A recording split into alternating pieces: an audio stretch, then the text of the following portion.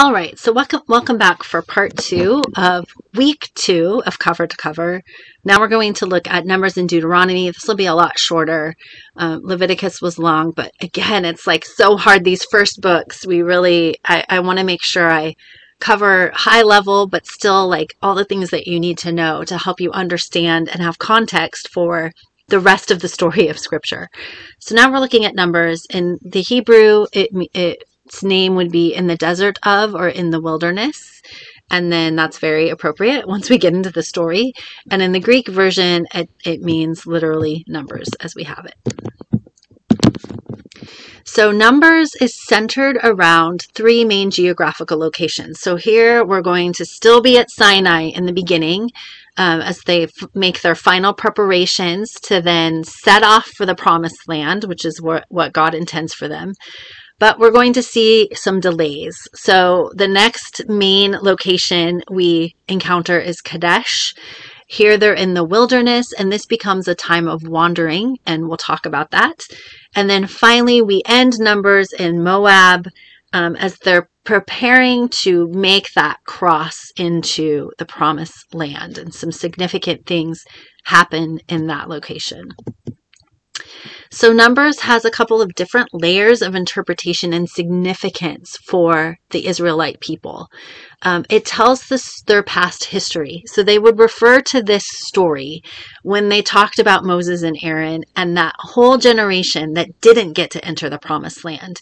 You can imagine that as they're telling their children and passing down the stories of Israel, um, everyone, Moses is so highly regarded. He, he always is the pinnacle figure for for Israel and everyone's measured against Moses. And so, how is it that Moses doesn't get to go into the promised land? That's a question that needs to be answered. And so, Numbers tells us that story.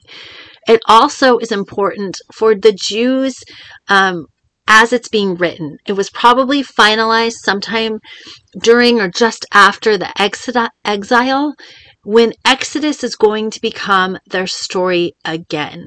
We're going to see post exile that they're going to make a return to Jerusalem.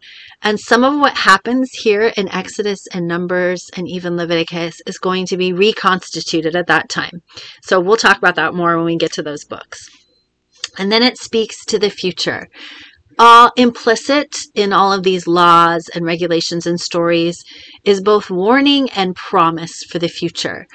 Don't disobey, and the promised land is going to be yours to enjoy as a people, as a nation. This isn't individual, this is nationwide.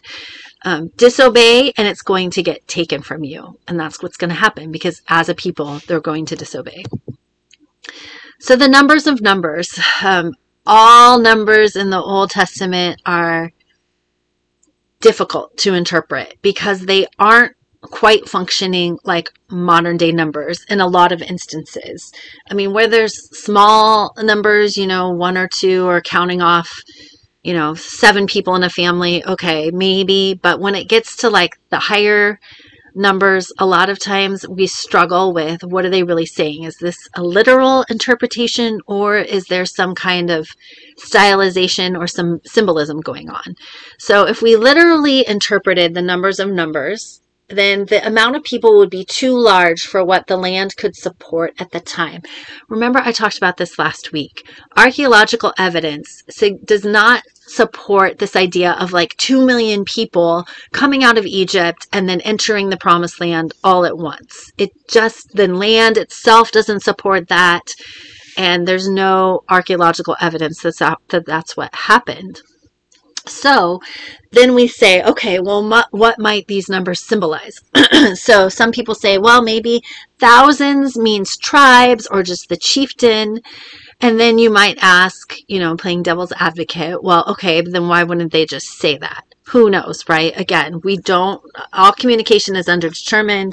We don't have access to the people that are recording these numbers to go, well, what do you really mean?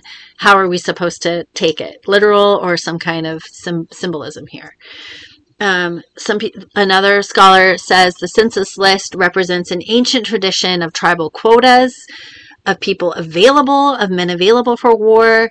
So it's the numbers really signify like military units. Again, why not just say this? Maybe this was implied or understood by the people that were writing. Perhaps some kind of numerology is involved. Numerology was highly used in these times. We'll see numerology come into play when we look at Revelation. Whatever the case, it appears to us that these numbers are stylized, they're symbolic. Again, because it just doesn't make sense that like 2 million people are entering the promised land all at once. So just kind of hold that in your head. We'll encounter numbers again and always be wrestling with this issue. So, theology of numbers. Well, we're going to see the continued presence of God amidst God's people. That has been something we've been seeing from the beginning of the patriarchal time. Uh, we'll see God's providence in providing for the people's needs, especially once they're in the wilderness and things, you know, provisions are harder to come by there. We will see God's patience it's very much tested, and so we'll learn something about God in that respect. And then we'll see the importance of intercession. The whole nation of Israel was meant to be intercessors. And then remember, we learned in Leviticus, we've got this priesthood, which becomes the intercessors for Israel.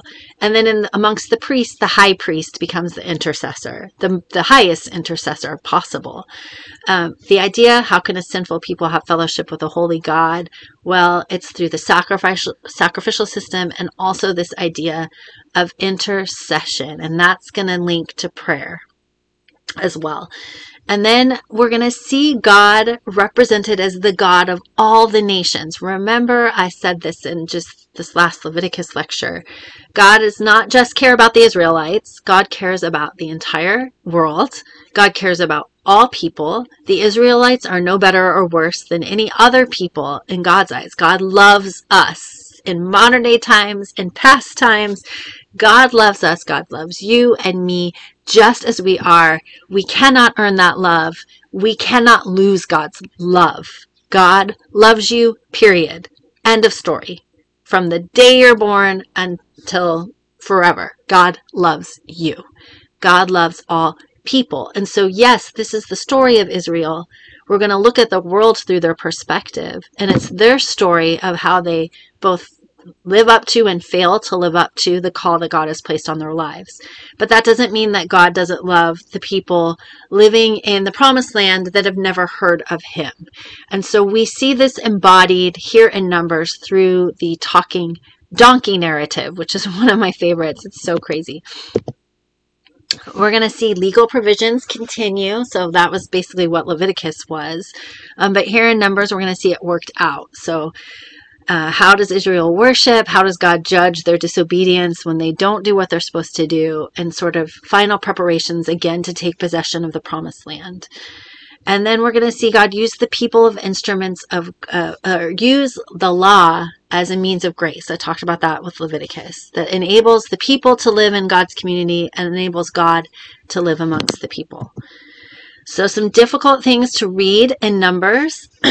we have these um, three men and their families that are swallowed up after they rebel against God and Moses. And while we might be able to say, all right, we get that the three men um, were engaged in egregious sin. It was intentional sin. It wasn't an accident. Um, they did wrong and they didn't repent for it. And so, yes, they, you know, the punishment for sin is death. And if you don't repent and then offer a sacrifice as a substitution, the punishment is going to fall on you. But what's hard to read about is that all of their families die with them, you know, their wives, their children. And that's tough to read. It should be tough to read. If we were to read that and be like, oh, good, that's not, that's a soul check for us. Um, but here's the harsh, difficult truth about sin it affects not just the sinner, and sometimes it affects innocent people in far worse ways than even the sinner, him or herself. Sin has this radius of suffering that seems to affect people in close proximity as well. And there's some ownership too for the families. You know, they could have run away. Moses warned them, get away. This is what's going to happen if you don't. And they stood their ground. Um, and there's a lot to unpack there. Women did not have agency like we do now. Um, of course, children really don't have agency. That they probably didn't have much of a choice. So it, it's difficult to read through, but it's also again this idea of sin. And also, the three men could have said, "No, spare my family family, go away right now. Children, run away. Like, this is me. It's not on you. This is my sin. But they didn't. And so the consequences were great. And that's true in our time as well. Horrible things happen to innocent people sometimes because of the terrible decisions of other people. Unfortunately, horribly, terribly, it is the way this broken world works, but God is at work to make that right, to fix it, to redeem it, and to restore it. And so we're going to see that story unfold. And then we have the account in Numbers 20, which is the explanation for how it comes to be that Moses and Aaron don't get to enter the promised land. So, uh, bless Moses. I mean, he interceded for these people. He said to God, Don't destroy these people and yet he gets tired and what I I'm reading into it, but I think I'm safe to read into it and you can decide what you think. I think Moses and Aaron are burned out. They have been doing a lot. Uh, remember way back to the beginning of Moses' leadership, got, you know, through his father in law and other things. It was like, you can't do it all yourself. You've got to have other people to help you, Moses. And here in Numbers 20, it just gets the better of him, and Moses does not follow God's instructions. He lectures the people, he attributes the water to himself, which, oh, Moses, why? Why? You know better. And he himself strikes the rock, the rock with the rod, not once but twice, when God tells him not to. Moses is great. He's wonderful. He matures so much over the course of the Pentateuch, but he's still a man. He's not perfect. Like all of us, he's prone to stress, tiredness, burnout.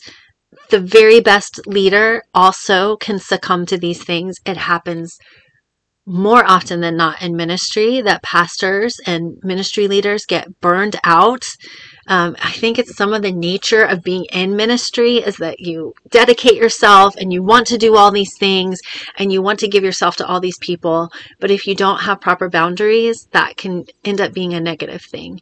And so, for whatever happens to Moses, he doesn't obey God and he attributes God's grace and mercy and provision to himself, which is always, always bad. And at this point, they know better as you progress in leadership and in maturity, as we progress in our own personal journey of faith, we are going to be held to a higher standard. The more we know, the more we're responsible for. And that's not to scare us because that's what we should be wanting. It's it's to always remind us that it's not a, in the end just about knowledge, but it's about a relationship with God. If we learn all there is to learn, but don't have a relationship with God, we're still going to end up in a bad place. We need that relationship with God. If we have a relationship with God, but refuse to learn and grow and mature and do hard, scary things and be courageous, we're going to be stunted in our relationship with God and we're not going to experience all the blessings that God has for us. So, with leadership comes great responsibility. I think that's a quote from Spider Man. My son would be so proud. Um, great responsibility, great reward, but also some difficult things as well. And so that is why Moses and Aaron are punished and not allowed to enter into the promised land. And here's a map that just shows their wanderings. So their journey from Sinai to actually entering the promised land should have taken like a few months, and instead it takes 40 years because of their sinfulness and disobedience to God. And here's another um, map that you can look at later that kind of shows where they are when things are happening.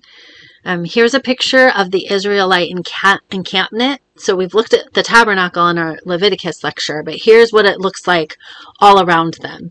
Um, and you can see there were arrangement, there were places for each tribe again dependent on their roles. So Moses and Aaron and the priests and these other three tribes are closest to the tabernacle because they all have parts to play in either maintaining the tabernacle or transporting it. So that's the amazing thing when we read this story is that this isn't a permanent structure.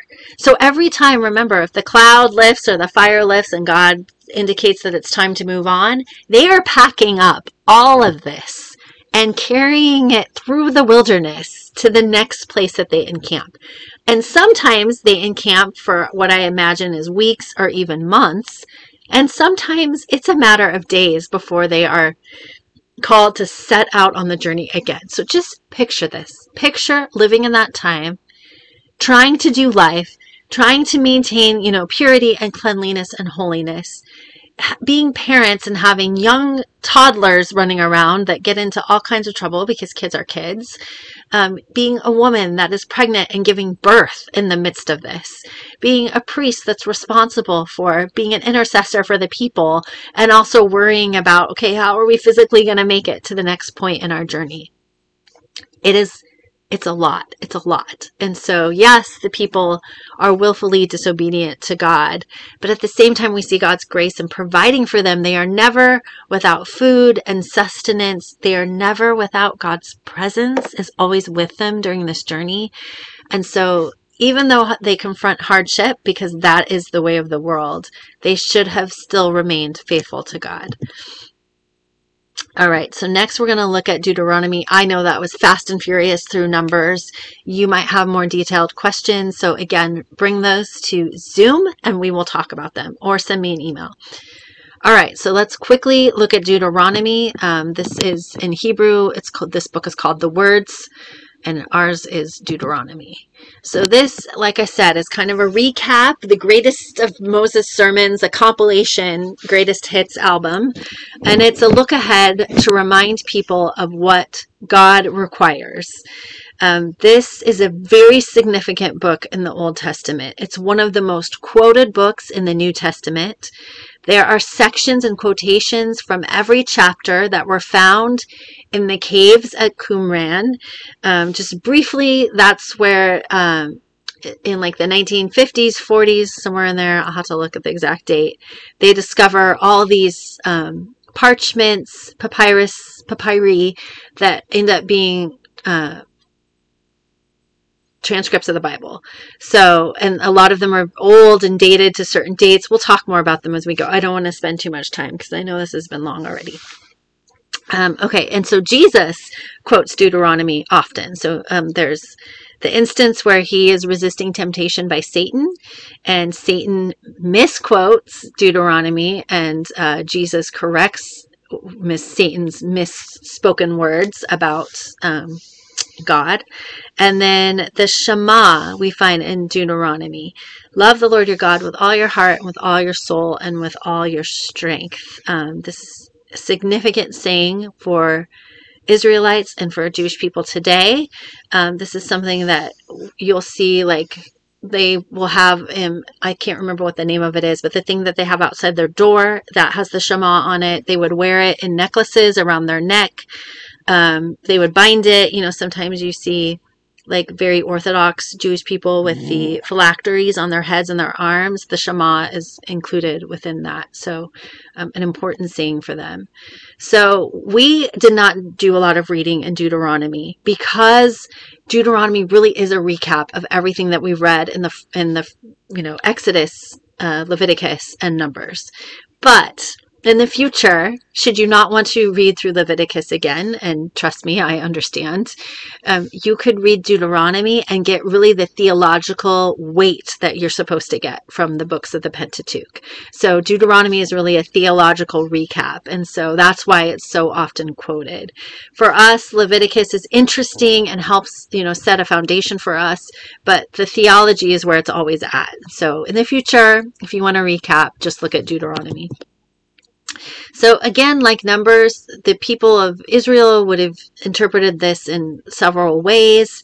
It, you know, is the final cross eh, the final words of Moses before he dies and the people go into the promised land. It features covenant renewal. You'll see covenant renewal a lot. The people mess up and they renew their covenant and it kind of cleanses the palate and puts them in a right relationship with God again. It also was significant in the period in which it was written, in the late monarchy. Um, and we're going to find it pop up in the book of Kings when Josiah, one of the good kings of Judah, engages in some reform in 621 BC. He actually uncovers the book of Deuteronomy and realizes that they haven't been following the law because at that point they were so bad and corrupted and sinful that they had lost the books of the law and they had forgotten what they were supposed to do as God's people. And then um, it's significant again, and we'll talk about this when the people are in exile, but it's going to become like a handbook to remind them of who they are, to help them on their journey out of exile and back into the heart of God, and to help them form themselves once again as God's people.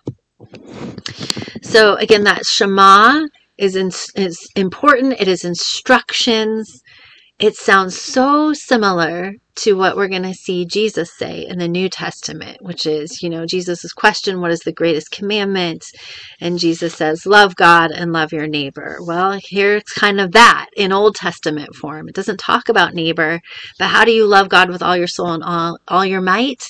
You do what God has asked you to do. You live out your calling, which is to be in community with, in relationship with other human beings, and to be, go back to that ezer concept, which Adam and Eve were first created to be, which is helpers. So we love each other, and by loving each other, that's how we show our love for God.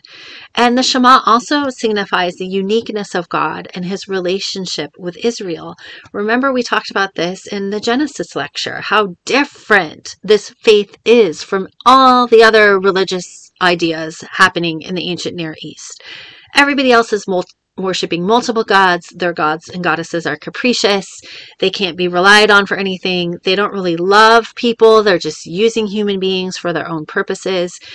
And here it's a, a relationship built first and foremost on love. God's love for us and our love for God in return. And the rest of it is the way in which to live out that relationship. Um, we recap in Deuteronomy that God is a God who acts. God is not up in heaven or wherever heaven is in some other plane, just kind of passively passively watching what's happening to humanity. God is deeply invested and involved in what is going on. Um, God wants to reside amongst God's people. God provides for the people, often in miraculous ways that show his love and provision for God's people. And God also acts through other human beings who answer God's call to be the hands and feet and voices of God amidst the rest of the ancient Near East. And so Deuteronomy recaps this concept of the nation of Israel, that God uh, created this nation out of the least and the last of society. The, the slaves of Egypt become God's chosen people, not because they are any better than the rest of the people that were living at the time, not because God loves them more than he loves anybody else, but because of God's grace and goodness. And God wants to show the world that God will use the least and last and lost if you will be obedient and have faith. God will use you. It's not about what you do. It's not about where you're born. It's not about what you look like. It's about relationship. If you love God, then God is going to bless that by using you as God's intercessor for others. And that's true in the Old Testament and it's true in the New Testament as well. So we're reminded in Deuteronomy of this concept of covenant relationship. This is key. This is going to become the basis for what the prophets are going to have to say um, in regards to what happens during the time of the kings. Um, but the covenant relationship is how they are formed as a people. It's also their inheritance. They're going to get blessings or curses depending on if they hold to this covenant relationship. And it also details the establishment of God's throne.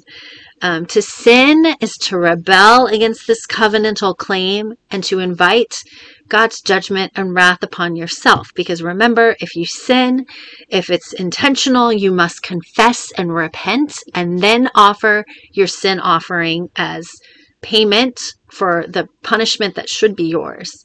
And if you don't do that, then the judgment is going to fall where it right where it originally belongs, which is onto you. Um, and that judgment is going to be pertain not just to Israel, but to the other nations as well. We're going to, to kind of explore that. Deuteronomy speaks to it, but we're going to see how that plays out, especially when we look at the book of the prophets. the prophets are going to have a lot to say as God's mouthpieces. Deuteronomy recaps as well God acting in history. Again, God is active. God is not separate from humankind and from creation. God works in and through history and in and through this people called Israel. So, doctrine and theology is unique, continually speaking to God's sovereignty, to God's consistency. God is who God is. That's what the name Adonai or Yahweh means. I am who I am. And as human beings, it's our responsibility to understand what that means as best as we can. Also, to realize that God is holy and other. God is not a person. We want to give him human attributes because that's the language we have. That's how we make sense of things. We cannot conceive of God in God's true form because we've never experienced something like that. We get tastes of it here on earth, but we're going to experiencing it fully you know, once we get into eternity. But we're always to remember that God is sovereign, and in God's sovereignty, God has allowed human beings and creation itself to recreate, to have, you know, a little bit of of creative capabilities themselves. Um, again, God didn't create a closed world. God created an open world that has evolved over time. And so we remember that it's in God's sovereignty that God has allowed that. But God remains consistent. Human beings don't. God does. And so when we have tension where it seems like God is acting differently than we understand him, that is because of our our human inability to fully grasp God. And so we got to lean into those what seem like discrepancies or things that don't work together. We got to lean into that and kind of puzzle through it and try to, to help us, ourselves understand it better. So the entire book recite, recites what God has done on behalf of this nation, Israel. Um, again, people have free will. God is angered and frustrated by the choices that God's people make but God's purpose also always prevails. So there seems to be tension there, but it's not if you understand that in God's sovereignty, God's allowing people to make choices. And then God comes along behind those choices. And as we learned in Genesis with the story of Joseph, God will bring good out of what was intended for evil because God is always kind of knitting things together. Um, I've heard it described as like a cruise ship. If we imagine a cruise ship leaving from Miami headed to the Bahamas, it's going to the Bahamas and that cruise ship is going to get there. But on the cruise ship, people can choose. I, some people might go to the pool. Some people might go see a live show. Some people might go to the movies. They have movie theaters on cruises. Some people might choose to spend the whole time at the buffet. Other people might choose to be sleeping in their cabin. On the cruise ship, people have choices to make. It's choices within boundaries. There's not exponential choices of what they can do, but they have choice. And yet that cruise ship is going to head for the Bahamas something similar when we think about the relationship between God's sovereignty and the free will that God gives to man humankind.